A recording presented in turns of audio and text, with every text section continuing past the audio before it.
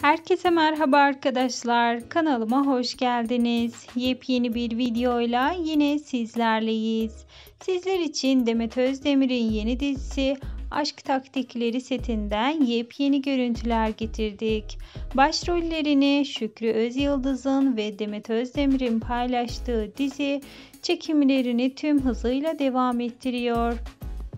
Ve tabii ki setten de bu arada yepyeni görüntüler gelmekte devam ediyor. Eğer sizler de Aşk Taktikleri dizisini merak ediyorsanız yorum kısmında bildirirseniz yepyeni haberlerden sizleri anında haberdar edebiliriz.